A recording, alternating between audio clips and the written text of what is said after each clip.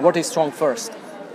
Strong First is a school of strength, but beyond teaching physical strength, we are making stronger people, people stronger in spirit. It's my intention in 50, 100 years make StrongFirst a major cultural institution. Next question: uh, What is the best way to get strong? Some some general advice. Lift as often as possible, as heavy as possible, while staying as fresh as possible. This quote from Professor Zatsiorski sums up effective training. So keep the quality high, keep the volume high, and you just can't help getting stronger. I would love uh, to ask you for some uh, practical tip uh, in like do this manner for beginners, what they should focus and avoid in their training. Technique first and foremost.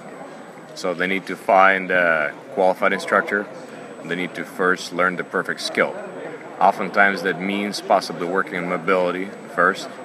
After that, it's learning to get tight, developing the skill of tension. Mm-hmm. So mobility, then finally tension and stability. Uh, any tip uh, for uh, advanced uh, students, what they should focus, what they should avoid? Advanced students should avoid getting distracted.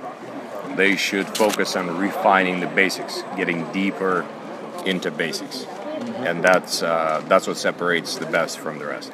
Before the last question, if you have uh, any message to growing Czech StrongFirst community.